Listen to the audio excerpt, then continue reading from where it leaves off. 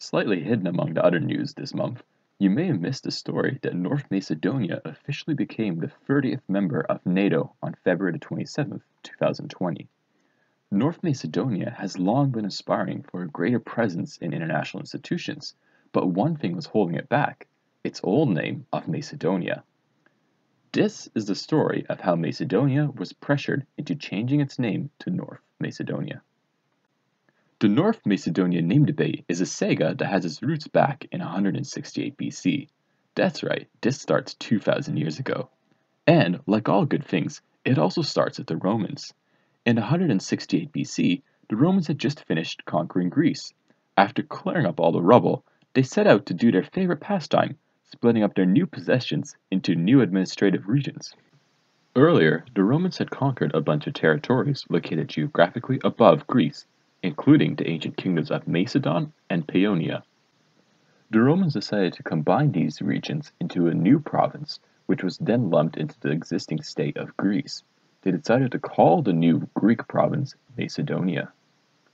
This arrangement survived for about 500 years, until the 4th century when the Romans decided to split it up into two regions. A lower part, called First Macedonia, covered an area which corresponds to the location of the modern Greek province of Macedonia.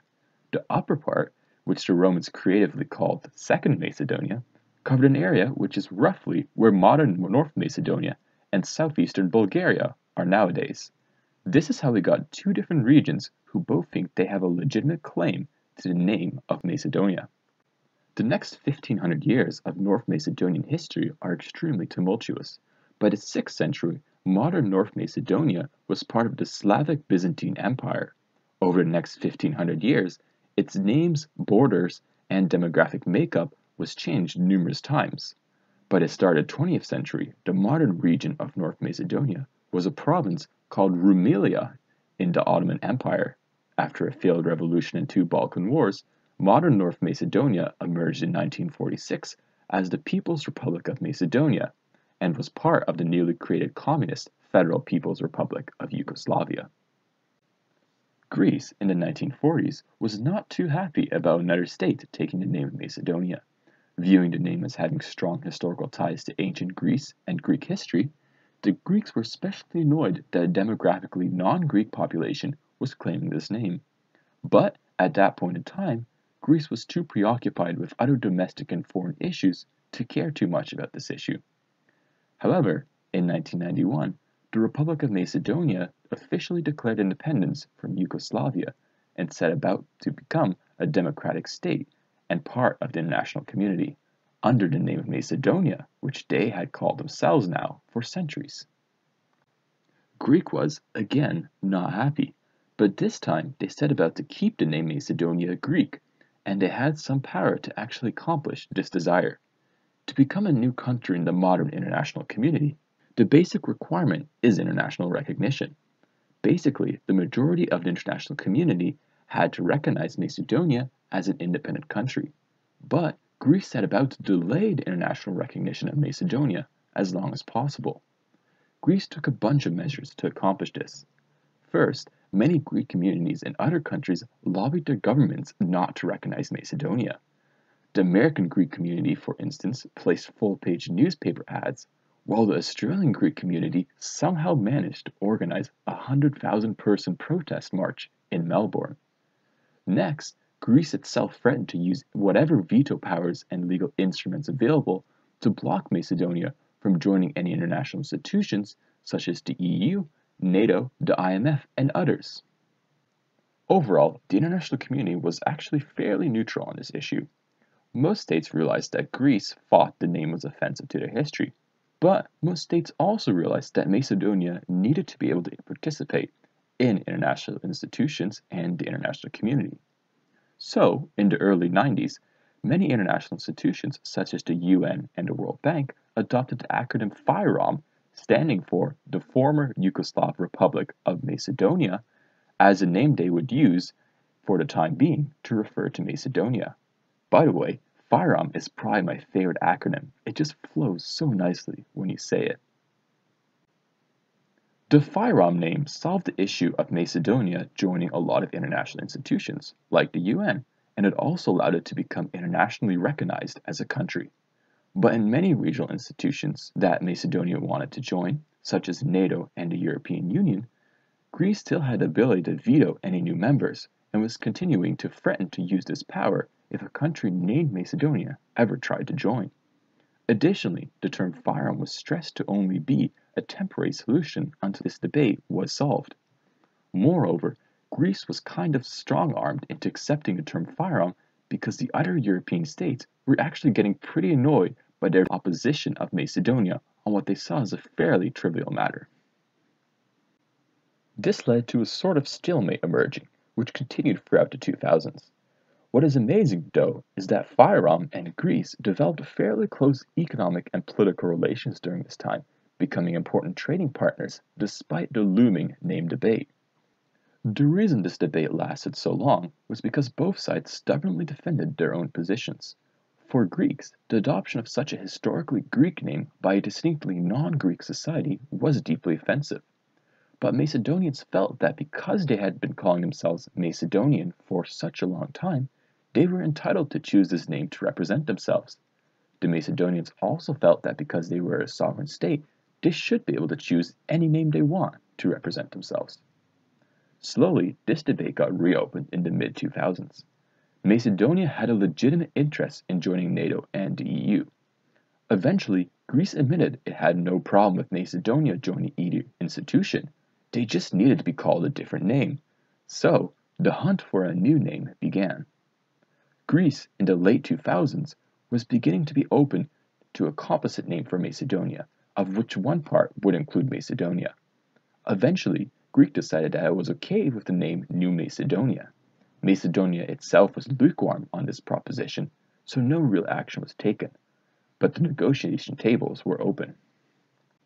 However, relations between the two nations took a turn for the worse when, in 2008, Greece spearheaded NATO giving Macedonia an official non invitation to join the organization on the basis of the name dispute.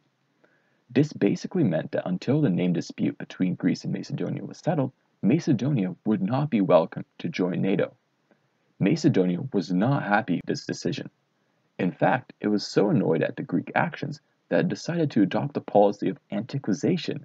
This policy had Macedonia putting a large emphasis on their ancient history, making statues and renaming streets and buildings after key historical figures such as Alexander the Great.